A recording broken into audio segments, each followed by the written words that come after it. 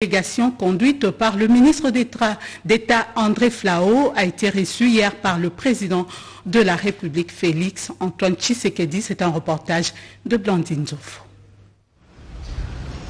Intensifier les rapports entre la République démocratique du Congo et le Royaume de Belgique, c'est l'objectif principal d'une mission de Parlement belge à Kinshasa, conduite par André Flao, ministre d'État belge et président honoraire du Parlement fédéral de la Belgique. Ce samedi en début de matinée à la Cité de l'Union africaine, Modeste Bahati-Lukwebo et Christophe Mbosso, respectivement présidents du Sénat et de l'Assemblée nationale, ont accompagné leur haute marque pour présenter leur civilité au chef de l'État Félix Antoine Tshisekedi Chilombo. Dans leurs entretiens, il s'est agi du renforcement de la diplomatie parlementaire entre les deux pays.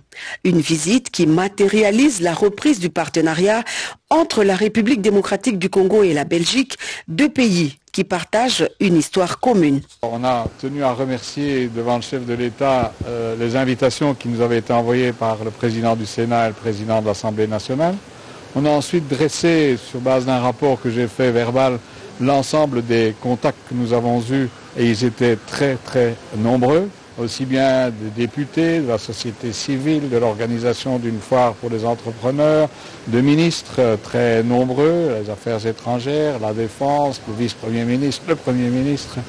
Et donc on a discuté tout ça en livrant en quelque sorte nos, nos impressions suite à cette visite d'une semaine qui effectivement nous permet d'abord de poser des actes symboliques, de retourner en Belgique en expliquant à nos collègues euh, de la Chambre et du Sénat que finalement il y a un potentiel énorme et qu'il y a une urgence à donner un coup d'accélérateur au partenariat dans tous les domaines avec la République démocratique du Congo. Et euh, le président effectivement a apprécié euh, cette démarche, qui est une démarche symbolique puisque le Parlement c'est le premier des pouvoirs, des avancées significatives qui valent des éloges et encouragements au président de la République Félix Antoine Tshisekedi Chilombo à travers différentes réformes.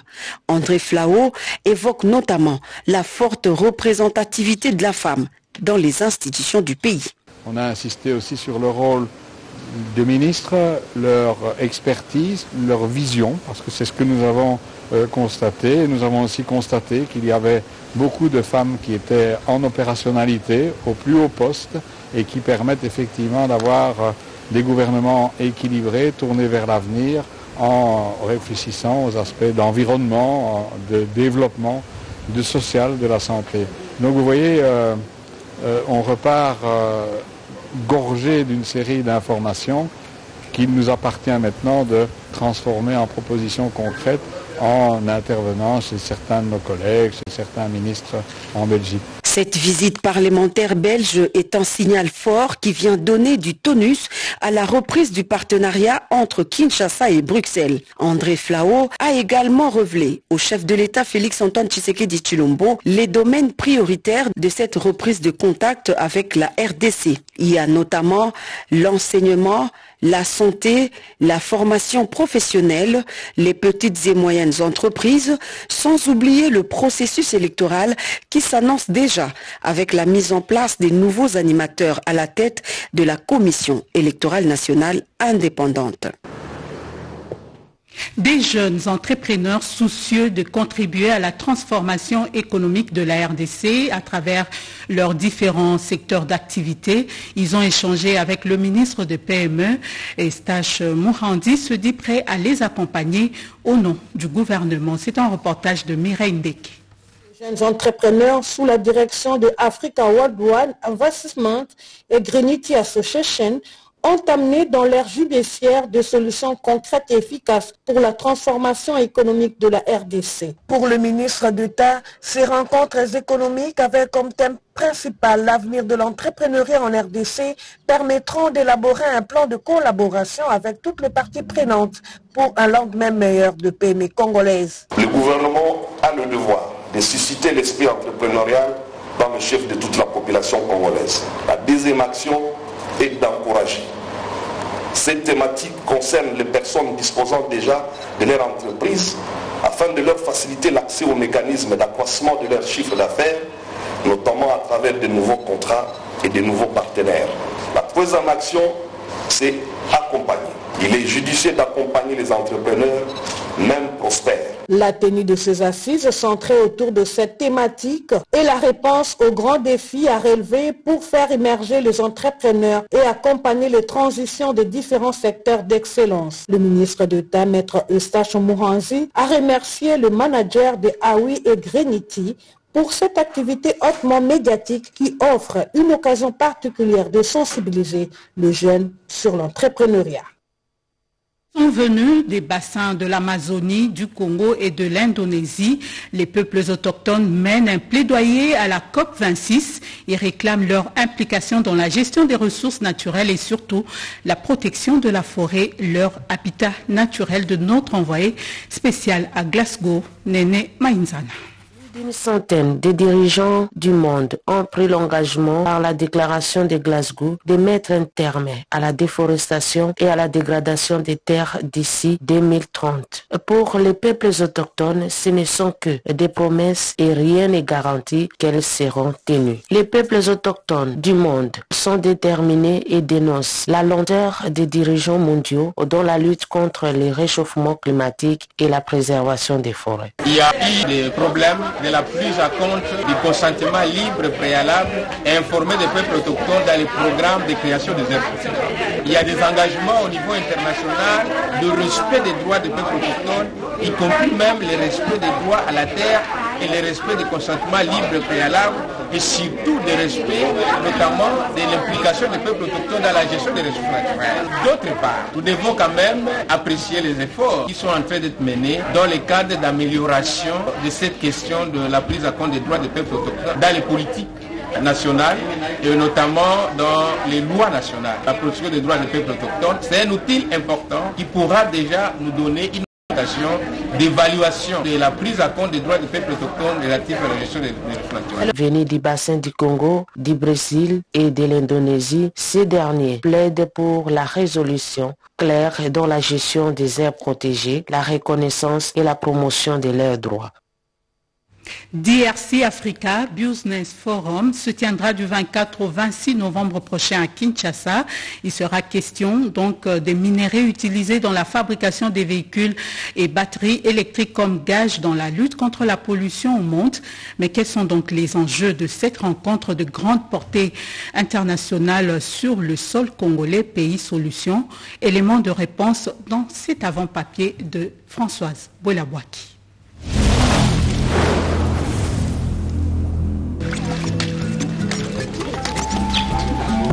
Les minerais du Congo se présentent en solution dans la lutte contre le réchauffement climatique.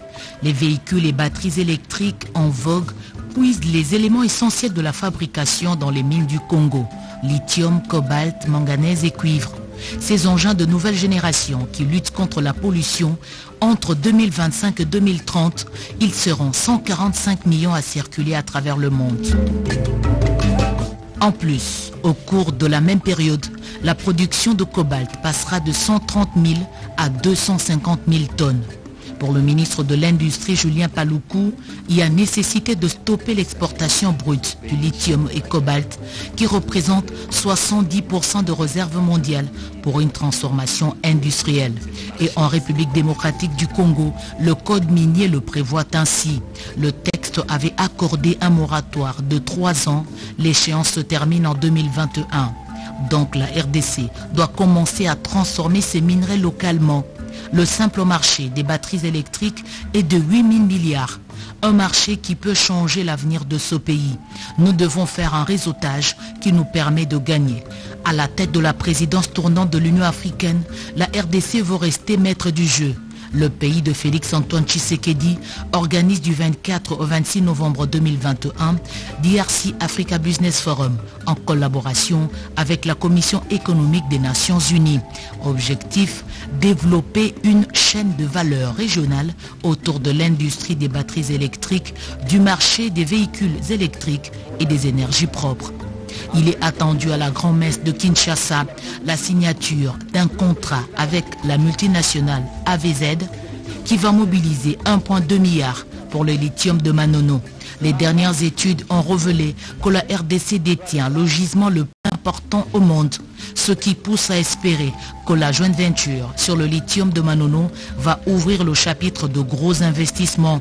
L'objectif final du Congo reste la création de la valeur ajoutée par les entreprises souhaitant contribuer à l'atteinte des ODD, mais aussi intégrer l'économie locale dans les chaînes de valeur mondiales afin de renforcer la compétitivité des petites et moyennes entreprises d'une part et d'autre part créer des emplois décents pour des jeunes Congolais.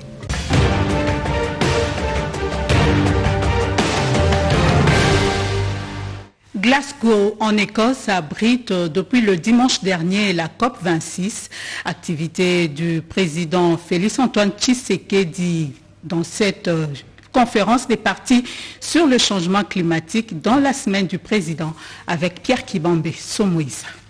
Après un séjour à Rome, en Italie, où il a représenté l'Afrique, au sommet du G20, le président de la République Félix-Antoine Tshisekedi Chilombo président en exercice de l'Union africaine, a pris part à une autre rencontre de haut niveau, la conférence des Nations Unies sur le climat à Glasgow, en Écosse, placée sous la présidence britannique en partenariat avec l'Italie. Intervenant du haut de la tribune de la COP 26 lors de la journée consacrée aux forêts, le chef de l'État a relevé toute l'importance de la République démocratique du Congo qui se trouve être la solution à la crise climatique mondiale. Détentrice de 60% des forêts du bassin du Congo, la RDC dispose en effet du deuxième poumon mondial dans la lutte contre le changement climatique. Outre ces tourbières, les pays possèdent aussi des grands puits de stockage de carbone et des minéraux stratégiques essentiels, autant d'atouts pour sauver l'humanité face au péril du changement climatique. Trouver des solutions à l'épineuse question mondiale de réchauffement climatique est l'enjeu de taille. Les participants aux travaux de la COP26 ont aussi débattu d'autres sujets, en l'occurrence celui des infrastructures. Dans son intervention aux côtés de son homologue des États-Unis d'Amérique, Joe Biden, et du Premier ministre britannique Boris Johnson, le chef de l'État Félix-Antoine Tshisekedi Chilombo, président des exercices de l'Union africaine, a planché sur la problématique du développement des infrastructures sur le continent africain tout en soulignant la volonté de reconstruire un monde meilleur et plus durable.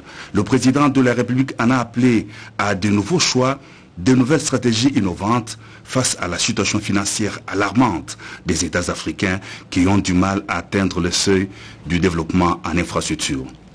Organisé en marche de la COP26 à Glasgow, les sommets sur l'accélération de l'adaptation en Afrique s'est érigé en une autre tribune dont l'objectif était de renforcer la résilience africaine face au changement climatique évoquant l'insuffisance du flux financier actuel en direction de l'Afrique pour l'adaptation qui est inadéquat avec les besoins et les urgences, le chef de l'État président de l'Union africaine a lancé un appel à ses pairs insistant sur la mobilisation des ressources en vue de soutenir les États africains se trouvant sur la ligne du front du changement climatique. Le président de la République a par ailleurs procédé à la signature avec le Premier ministre du Royaume-Uni, Boris Johnson, d'un engagement d'une durée de 10 ans pour la protection de la forêt de la RDC au nom du conseil d'administration de l'initiative pour la forêt de l'Afrique centrale. Toujours en marge des assises de la COP 26, le président de la République Félix-Antoine Tshisekedi Chulombo a eu des échanges avec John Kerry, l'envoyé spécial de son homologue américain Joe Biden sur le climat. Les États-Unis d'Amérique souhaitent accompagner la République démocratique du Congo dans ses efforts de préservation de forêts et de production d'énergie propre, renouvelable. Sur le site de la COP26, le président de la République s'est aussi entretenu avec son homologue de la République du Congo, Denis Sassou Nguesso, au sujet du bassin du Congo, ce poumon écologique mondial, une réserve cruciale des biodiversités et le puits de carbone grâce à ces tourbières récemment découvertes dans la cuvette centrale. C'était justement au cours d'une projection sur les atouts du bassin du Congo. Le chef de l'État a par ailleurs aménagé son agenda de travail pour visiter le stand de la République démocratique du Congo sur le site de la COP26 sous les explications de la vice-premier ministre, ministre en charge de l'environnement et du développement durable, Eve Bazaïba, des explications supplémentaires sur l'apport de la RDC dans la régulation et le maintien des émissions des gaz à effet de serre dans des proportions acceptables.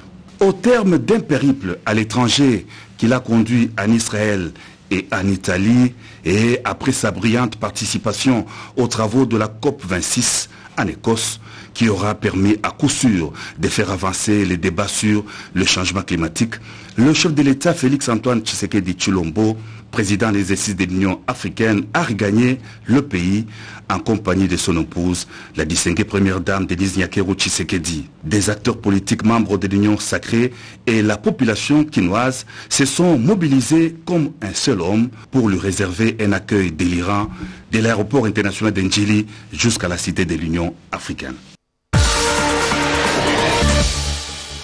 Autre sujet de la partie rétrospective de la semaine, l'audition des renseignants dans le procès Tchébéa, des précisions du ministre de l'EPST sur l'application de la gratuité de l'enseignement et bien entendu cette attaque à Bukavu le mercredi dernier, la semaine en cinq minutes avec Nadine Futuka. Une moisson abondante pour la semaine qui s'achève. Bukavu, la province du Sud Kivu, a fait l'objet d'une attaque d'un groupe armé. Celui-ci a été aussitôt neutralisé par les forces armées et la police. Quelques éléments sont verbalisés par la justice pour faire la lumière sur cette attaque rebelle. À l'Assemblée nationale, les députés ont de nouveau voté pour la prorogation de l'état des sièges dans la province de l'Itourie et des Nord Kivu. Pendant ces temps, une délégation de parlementaires belges en séjour à Kinshasa a rencontré plusieurs animateurs des institutions nationales, ceux de l'Assemblée nationale, du Sénat et de la primature. Ceci pour assurer le renforcement de la coopération entre Kinshasa et Bruxelles. Le ministère du Genre, Famille et Enfants a organisé une table ronde sur la résolution des conflits et le relèvement. Le Premier ministre Jean-Michel Samaloukonde s'est engagé d'appuyer la résolution 1325 du Conseil de sécurité des Nations Unies sur la femme, la paix et la sécurité. D'une part, les négociations entre le gouvernement et banques syndicales de l'enseignement primaire, secondaire et technique continuent. Le mot d'ordre de la suspension de la grève n'a pas été respecté par les enseignants. Une précision très importante sur l'application de la gratuité de l'enseignement en RDC. Le ministre de l'EPST a ciblé les cycles primaires comme l'unique bénéficiaire de la gratuité, tandis que la 7e et la 8e ne sont pas concernés par la gratuité. Les engagements de la RDC dans la lutte contre le réchauffement climatique portent le premier fruit. Les ministères sectoriels et la société civile ont signé en collaboration avec CAFI, Initiative pour les forêts de l'Afrique centrale, un accord de partenariat de 500 millions de dollars américains au bénéfice de la RDC. Cette somme va servir notamment la protection des forêts. En justice, le jus CRS à base de pommes a été jugé impropre à la consommation. Deux conteneurs de ces jus réceptionnés à Kinshasa ont été saisis et détruits sous le regard bienveillant du parquet des grandes instances de Matete. Une délégation des femmes leaders des provinces du Nord Kivu et des Litouris reçue par le ministre de la Défense nationale. Ces femmes sont venues plaider pour le retour définitif de la paix dans l'est du pays, en proie en insécurité. La semaine a été également marquée par la poursuite du procès sur l'affaire Floribert Chebea avec l'audition de renseignants à la haute cour militaire. La présence du corps sans vie dans la concession du général Djadidja à Mitendi a fait l'objet de l'audition de renseignants Bokungu et du général Zewa Katanga Djadidja. Un événement qui date du 2 juin 2010.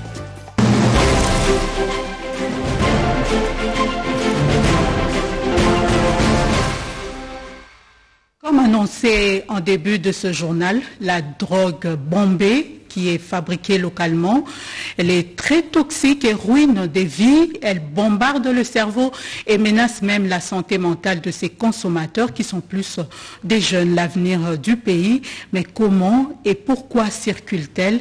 Élément de réponse dans cette mini-enquête menée par Ramazan Moulanda.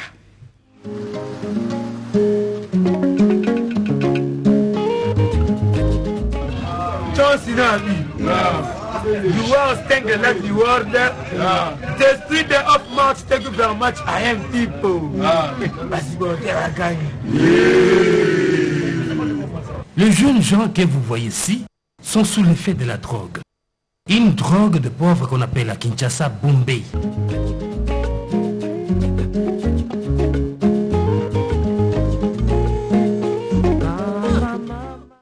Très facile d'en trouver, les vendeurs ne se cachent pas, ils sont partout. Tu peux trouver de la bombée pour 1000 francs.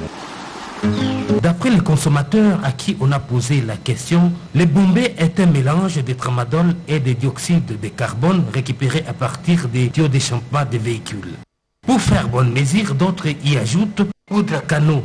La sensation visée d'après eux, c'est le bombardement intégral du cerveau pour perdre totalement raison.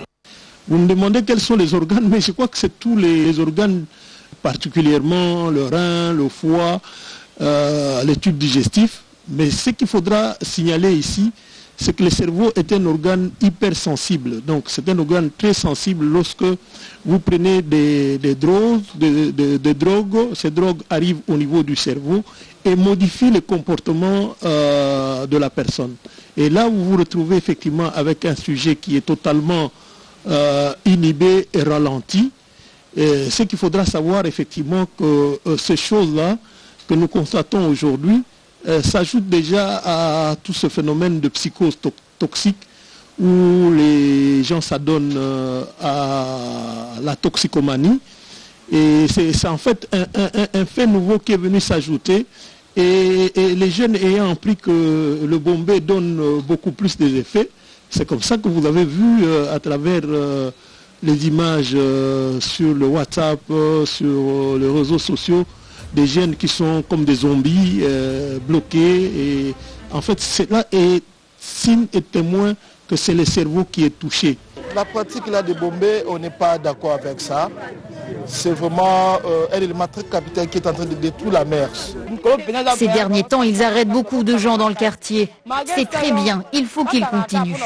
Quand ils les mettent au cachot, ça donne une leçon à ceux qui restent en liberté. Et ça peut les inciter à arrêter.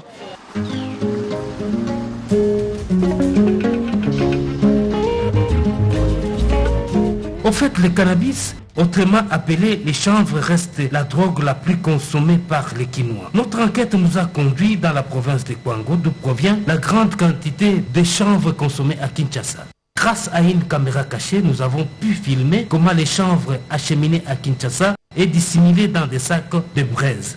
Avec la complicité de certains agents de sécurité postés sur la nationale numéro 1, le stupéfiant va arriver à destination comme une carte à la poste.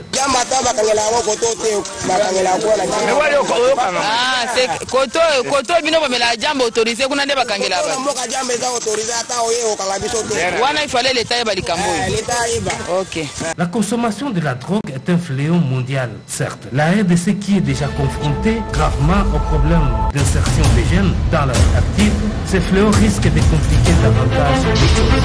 D'où la nécessité Cinq zones de santé de la partie est de Kinshasa, la capitale, sont touchées par la rougeole. Une campagne de riposte est donc lancée pour stopper cette épidémie. C'est un reportage de Constance Mananga. L'épidémie de rougeole sévit dans la partie est de la capitale RD congolaise. Cinq zones de santé sont concernées, à savoir Kingabwa, Massina, Ansele, Police et Kikini. Et pour faire face à cette maladie les enfants de 6 à 59 mois, une campagne de vaccination a été lancée par le ministère provincial de la Santé à l'hôpital général de référence de l'Ansele. Il s'agit d'une campagne de riposte contre cette épidémie de rougeole associée à la supplémentation en vitamine A et au déparasitage mebendazole campagne de riposte. Pourquoi riposte Parce qu'il y a une épidémie de rougeole dans ces zones de santé, pour laquelle les de santé, avec l'appui de ces différents partenaires, ont organisé cette riposte qui a commencé à proposer des vaccinés pendant 5 jours, jusqu'au mardi les 10 novembre. Et ce qu'on va dire aux parents, c'est d'amener les enfants dans les sites les plus proches de leur maison, dans les centres de santé les plus proches. C'est près de 200 000 enfants qui attendent. Près de 200 sites sont sélectionnés pour cette activité de vaccination qui va durer 5 cinq jours. Les parents sont donc appelés à amener les enfants auprès des sites les plus proches pour se faire vacciner. Un geste d'amour qui pourra sauver la vie des enfants. Isam Chikapa vient de l'arriver sur le marché de l'emploi sa toute première promotion de diplômés.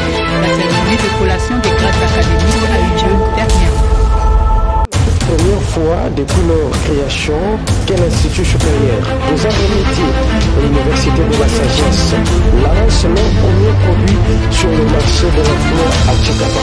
La double cérémonie clôture de l'année académique 2021 et collation des grades académiques aux lauréats le premier cycle s'est déroulé ce jeudi dans l'enceinte de la paroisse Saint-Antoine de Kélé qui a refusé du monde venir assister à cet événement historique de l'examen de l'UNIS Chikapa l'œuvre de la professeure révérende Marie Chulomba Babika. Le secrétaire général académique est monté au créneau pour dresser le rapport académique de cette année.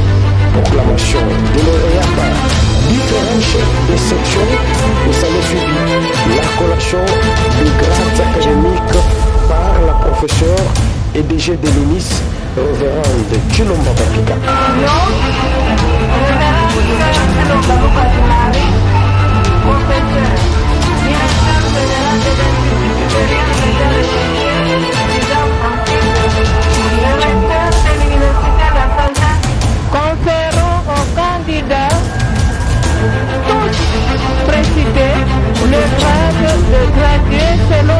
Domaine respectif.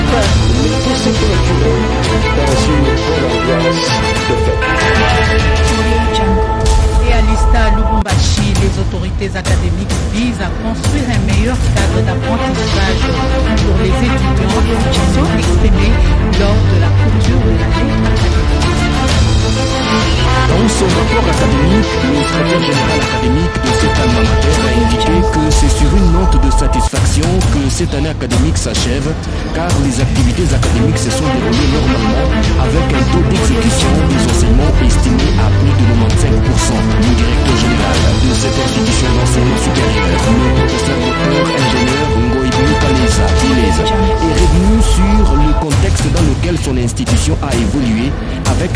fixé sur un avenir meilleur grâce aux perspectives fixées.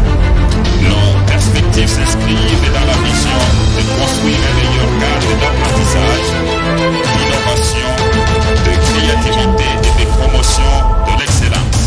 À cette même occasion, il a été installé le comité directeur de l'association des anciens de l'Istami dénommé Istami Alumni, une structure qui se veut être un pont avec les anciens diplômés de cet institut.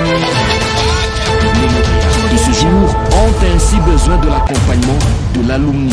Mesdames et messieurs, chers alumni de l'Istami, accompagnez ces jeunes sur cette note que l'année académique 2020-2021 a été déclarée close à Istalumbashi à partir de son site de joli site où les nouveaux auditoires poussent de la terre sur fonds propres de cet alma mater qui a profité de cette occasion pour tendre la main à celles et ceux qui voudront soutenir l'œuvre pour le bien de l'éducation des étudiants.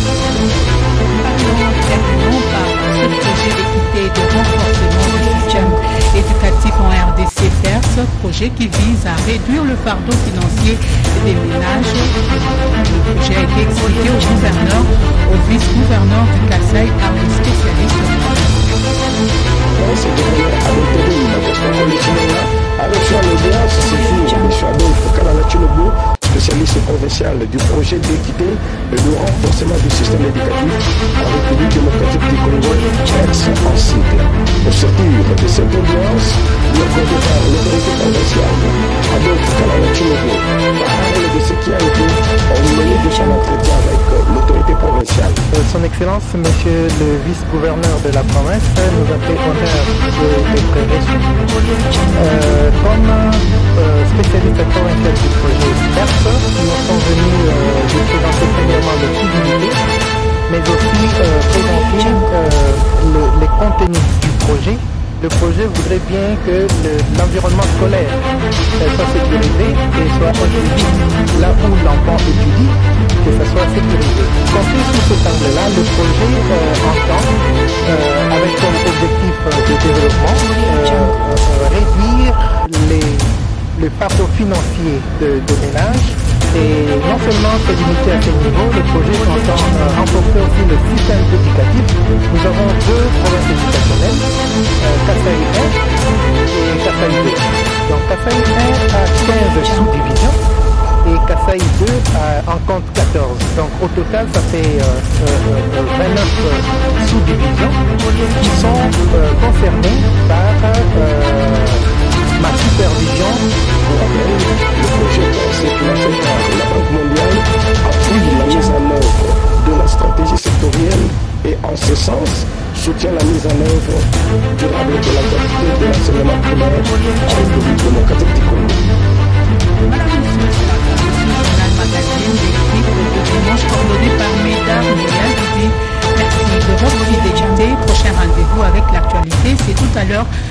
19h et à 20h du Zula.